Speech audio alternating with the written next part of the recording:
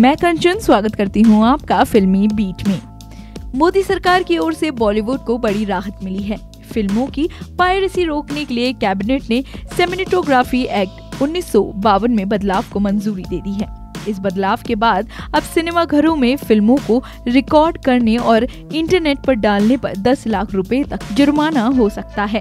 इसके साथ साथ इस एक्ट में सजा देने का भी प्रावधान है, जिसके तहत आरोपी को तीन साल की जेल भी हो सकती है। कैबिनेट की बैठक के बाद केंद्रीय मंत्री रविशंकर प्रसाद ने कहा, पीएम मोदी की अध्यक्षता में मंत्रिमंडल ने सेमिनेटोग्राफी एक्ट उन्नीस सौ बावन में बदलाव को मंजूरी दे दी है।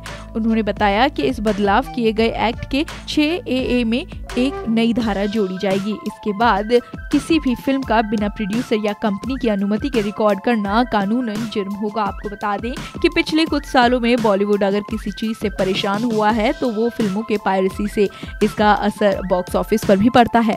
सेमिनेटोग्राफी एक्ट उन्नीस सौ बावन में बदलाव को कैबिनेट से मंजूरी के बाद अभिनेता अनिल कपूर ने ट्वीट कर प्रधानमंत्री नरेंद्र मोदी को धन्यवाद दिया है। अनिल कपूर ने ट्वीट कर कहा है कि प्रस्तावित संशोधनों से उद्योग के राजस्व में वृद्धि होगी। रोज़गार सृजन बढ़ेगा। भारत की राष्ट्रीय एलपी नीति के महत्वपूर्ण उद्देश्यों को पूरा किया जा सकेगा और ऑनलाइन पायरेसी और उल्लंघन करने वाली चीज़ों से भी राहत मिलेगी। प्रधानमंत्री नरेंद्र मोदी और मंत्रिमंडल को उन्होंने धन्यवाद भी दिया है। इसके अलावा सरकार के इस कदम का प्रोड्यूसर गिल्ड ने भी स्वागत किया है। प्रोड्यूसर गिल्ड ने बयान जारी कर कहा है कि एसोसिएशन खुले दिल से भारत सरकार के इस कदम का स्वागत करता है। एसोसिएशन ने कहा कि सरकार का ये कदम पीएम मोदी के उस वादे को पूरा करती है, जो उन्होंने 19 जनवरी 2019 को सिनेमा म्यूज़ियम के उद्घाटन के अवसर पर किया था।